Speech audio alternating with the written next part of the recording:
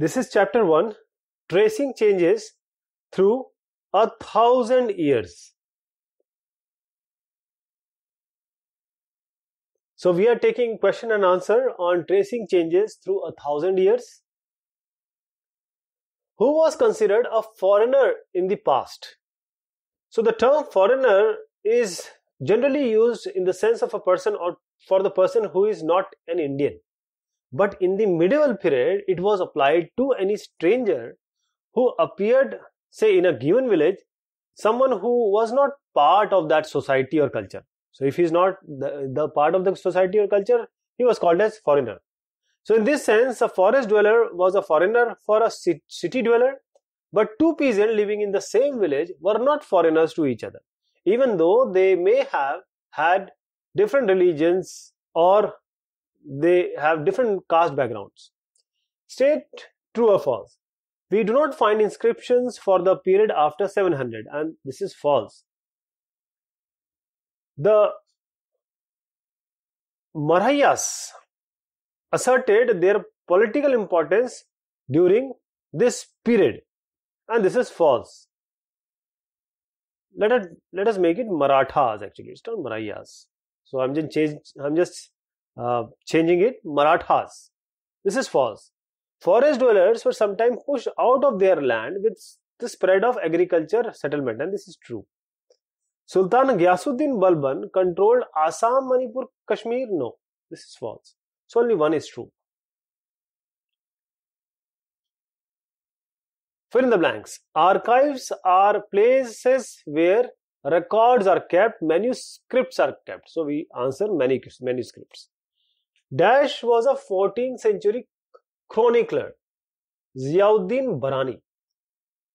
Dash, dash, dash, dash, and dash were some of the crops introduced into the subcontinent during this period. So, potatoes and uh, chili, corn, chili, tea, and coffee. List some of the, this is corn,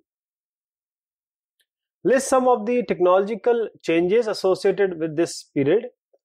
So there are certain notable technological changes associated with this period. First, the use of Persian wheel in immigration, the spinning wheel in weaving it was used and use of firearms in combat. What were some of the major religious development during this period? So some of the major significant religious development occurred in Hinduism. The worship of new deities, the construction of temples by royalty and growing importance of Brahmanas. Brahmans, the priest, as the dominant group in the society were the new changes. Brahmans' importance grew due to their knowledge of Sanskrit language and they were patronized by the emperors. And the idea of bhakti emerged among people. So the merchants and migrants brought with them the teachings of Quran, the holy book of Muslims. In what ways has the meaning of term Hindustan changed over the centuries? So this is changed. So it was been observed that the language and its interpretation change with change of time. The term Hindustan was used for the first time by, by Minhaj-i-Siraj, the 13th century Persian chronicler. Now he with this he with this term meant the areas of Punjab, Haryana and the lands between two rivers Ganga and Yamuna. So it was used in a political sense of lands constituting a part of, of the domains or dominions of the Delhi Sultan. And through the term, this shifted with the extent of Sultanate, but it never included South India, right? So though, though this term has shifted with terms to what the extent of the dominions we are talking about, but it never included South India. So later in the 16th century, Babur, while using this term, meant the geography, the fauna, and the culture of the inhabitants of the subcontinent.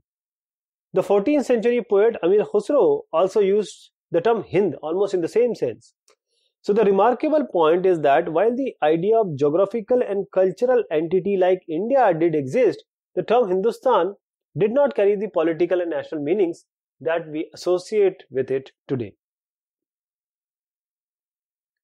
how are the affairs of this jatis? This is actually jatis. So let me change it. Jatis means, means caste. Okay. So jatis were subcaste which were grouped on the basis of economic and social status. So they were ranked as per their backgrounds and their occupations. So ranks were not fixed permanently, they varied as per the power, uh, the influence, and the resources controlled by the member of the jati. So hence the status of same jati could vary. It could, it could vary from area to area. Jatis had their own system of ruling. They framed their own rules and regulations for managing the conduct of their members. So an assembly of elders was, was responsible for enforcing these regulations. So this assembly of elders are called Jati Panchayat. But Jatis were also required to abide by the rules of their villages. What does the term pan-regional empire mean? Pan means in totality. So the term pan-regional was used in the sense of areas of empire spanning diverse regions. So the dynasties like the Cholas, the Khaljis, uh, Khaljis and Tughlaqs and Mughals extended their empire pan-regional. Though not uh, all these empires were equally stable or successful, but pan-regional rule altered the character of the region. So most of the regions across the subcontinent were left to the legacies of big and small states that have ruled over them. The emergence of many distinct and shared tradition in governance the economic elite cultures and the languages were some of the prominent factors that took place as a result of pan-regional rules. What are the difficulties historians face in using manuscripts? So manuscripts in early days they were handwritten and writer writers actually used some leaves, palm leaves as paper for writing manuscripts. And the historians used to copy down these manuscripts and different historians presented their version in their own way. And also the words and sentences many of these were beyond their understanding and they changed also. So they copied what they understood because if they didn't understand something they will write it by themselves. So later it was difficult to recognize which one was the original manuscript so historian interpreted the fact as per the manuscript which they got Therefore, we find a number of facts with different illustrations in history. How do the historians divide the past into periods? Do they face any problem in doing so? Yes. Today is not just passing of hours, or time is not just passing of hours, days, and years in terms of historians. But it is the reflection of social, economic, cultural, social, economic, cultural, and religious changes that occur through the ages. So division of past into large segment like the periods make it easy to study time of his, time for historians. So British historians in the middle of the 19th century divided time into three periods: Hindu, Muslim, and British. Now this division was made on the basis of the fact that no significant change other than the religion of the rulers could occur during this period. But as a matter of fact, this division ignored the rich diversity of the subcontinent. So few historians take this periodiz uh, periodization even today, while most of the, um, them take the economic and social factors into account in order to characterize the major elements of different moments of the past. So the history of the past thousand years have seen considerable changes. And as a result, the 16th century was not the same as the 18th century or the 18th or 11th century. So it is very difficult for the historians to describe the entire period as one historical unit. And they also, because they said it is uh, ancient, this is middle, and this is modern. So how to show some significant uh, era when it changed? That means what happened here. So this is also a typical discussion. So we have two maps in the chapter we saw. One was from Idrisi's, second one from the Frenchman.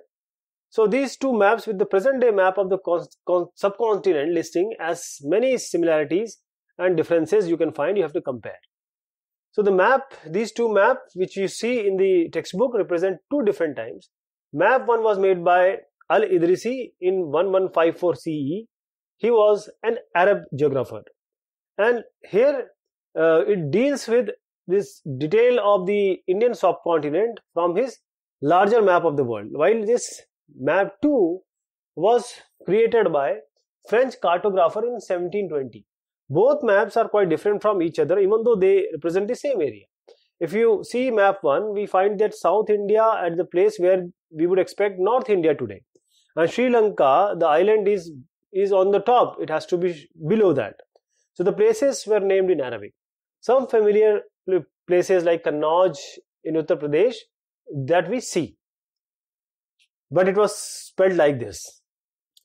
In comparison to this, map 2 was made nearly 600 years later after map 1 and by that time information about the subcontinent had changed a lot and this map appears to be more familiar to us and the coastal areas specifically these are more detailed find out where records are kept in your village or city who creates this record? Is there an archives? Who manages it?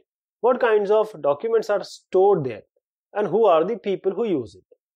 So in our village you can say that records are kept in panchayat office. Gram Sevak, who is government employee, writes these records, and there is no archive in our village. Sarpanch manages it, you can say. The documents stored there include the record of the land of the village, the date of births, and the deaths. The number of public properties, data of health center, villages use these record, and the certificates are issued to the villages on the basis of these records. And you can say most of the time you you will see you know the records in the urban area or in the cities they are kept in either either museum or with nagar nigam so there are so many places and mainly the record keeping house for historians is that ancient uh, building that we generally use who was al idrisi al idrisi was an arab cartographer who is a cartographer cartographer means who makes a map, who draws a map. What difference do you notice in the map drawn by Al-Idrisi? So in the map drawn by Al-Idrisi, we find completely different view. South India is shown at the present, uh, at the top, where in North India was there and is there right now, and Sri Lanka is the island at the top, which should be down below. Who used the term Hindustan for the first time and when? So Minhaj-i-Siraj he used Hindustan for the first time in the 13th century. What sources do the historians use for the study of particular period of history? So the historian used the source like coins, inscriptions, architectures and textual records for the study of a specific period. What do you mean by archives? So archives are the place where manuscripts are collected. Who were scribes? So scribes were those professionals who used to copy down the manuscripts. How did the scribes copy down the manuscripts? Scribe copied down the manuscript by their hands. What changes take, uh, took place during 700 and 1750? So many technologies like the Persian wheel in irrigation, the spinning wheel in weaving, and the firearms in combat made their appearance. Some new foods and beverages like potatoes, corn, chilies, uh, tea, and coffee they also arrived in the subcontinent. What factors contributed to the variety of developments? So, the new technologies and innovation came to the subcontinent with the people who came from other areas and they settled here. What were the new groups of people to be to be prominent in this age? So Rajputs, the Marathas, Sikhs, Jats, Ahoms, Kayasthas, these were the groups which came to the to be very prominent in this age. And they availed most of the opportunities of the society. What do you mean by Jati Panchayat? So Jati Panchayat was assembly of elders who control the conduct of the members of their Jati. And they had their own rules and their own regulations. Who was the chief of the village? So villagers were controlled by chieftain. Even the smaller Jati panchayats were bound to follow the village administration. What was the stretch of Delhi Sultan Ghiyasuddin Balban's empire? So, according to the uh, to the Sanskrit Prashasti, Delhi Sultan Ghiyasuddin Balban's empire was stretched from Bengal, that is Gauda, in in the east to Ghazni, Gajana, in Afghanistan in the west. It also included all of South India, that is Dravid. Why did Brahmanas dominate in the society during this period? So, Brahmans were the only class of people who were proficient and they are aware of Sanskrit language. This was the reason that made them prominent in the society. Who were the patrons? So, patrons were a group of rulers and rich class of people who provided protection and livelihood or livelihood to the Brahmanas, artists and poets. What was the major development of this age? So the emergence of idea of bhakti was the major development of this age related to Hindu religion or Hinduism. How history was divided by historians during the middle of the 19th century. So the British historians they actually divided the history of India into three, three periods the Hindu, the Muslim, and the British. What was the basis of such division? These divisions were made on the basis of religion, as the historian did not consider any other aspect which are more which are prominent enough to uh, be a basis of the, the division. So they were not prominent other than the de development of these religions. What difference do you trace out in region of Hindustan of 13th century and modern India? So the term Hindustan in the 13th century implied the areas of Punjab, Haryana and the lands between Ganga and Yamuna. Mirhaj, Minhaj-i-Siraj, he used the term in political sense of the land consisting of part of dominions of the uh, Delhi Sultanate. So the areas included in this term were actually shifted with the extents of Sultanate, but it never included the South India. What does time mean for historians? How does it help them? So time for historian doesn't mean just passing of hours or days or years. Instead, it reflects changes in social and economic organization, in the persistence and transformation of ideas and beliefs. So in order to study historian developments, historical developments, the historian divide the past into three, uh, you can say large segments. It makes, it uh, uh, made the study convenient so the historians study different aspects of the specific period and then assess the comparative development, their impact on society, and their contribution to future generation. What do you mean by pan-regional rule and what was its impact? So pan-regional rule applies to the trend of extending pan means total from left to right all there in totality extending the empire to the region beyond one's own state with the decline of Mughal Empire in the 18th century, many, many regional states emerged. So consequently, a chance of sharing different tradition in the realms of governance, economy, elite cultures and languages was or were brightened. So people knew a lot of new thing, manners, etc. without losing their own culture and their own identity. What was the process of copying manuscript? What were its drawbacks? So as there was uh, no printing press at that, that time between 700 and 1750, scribes used to copy down the manuscript which were actually handwritten. Sometimes it was difficult to recognize the original script, so the scribes used their own way of interpreting the facts. And in result, or consequently, there were differences uh, found in the copies written by different scribes. So as all the copies were handwritten, it was difficult to recognize which was the original one and it was the drawback of such copying. Trace out the major changes in the society during 700 and 1750. What was its main reason? So, number of changes took place in society between between these or between in these 1000 years between 700 and 1750. This period traced the technological appearance of Persian wheel in irrigation, spinning wheel in weaving, and fire, firearms in combat potatoes, corn, chilies, tea, coffee, they were some of the new food and beverages. And the, they were introduced and they were accepted. So these development came with the arrival of people who migrated to this land. And because of this, the period saw various changes in economic, political, social, and cultural life. What was the change in the religion at that time? Trace out major developments. So the period between 700 and 1750 witnessed major changes in the religion. It was seen prominently in Hinduism. So, Hinduism there was a permanent change. The worship of uh, new deities, first of all, the construction of uh, temples by royalty, and the growing importance of Brahmanas, the priests, as dominant groups in society were some of the major developments. The idea of bhakti also emerged. Merchants and migrant, migrants actually bought new teachings of Quran, the holy book of Muslims. Mohammedans we call. A class of patrons emerged. They were the rulers who provided shelter and protection to the ulemas, the learned uh, theologians and jurists. So Muslims were divided into two groups, Shia and Sunni.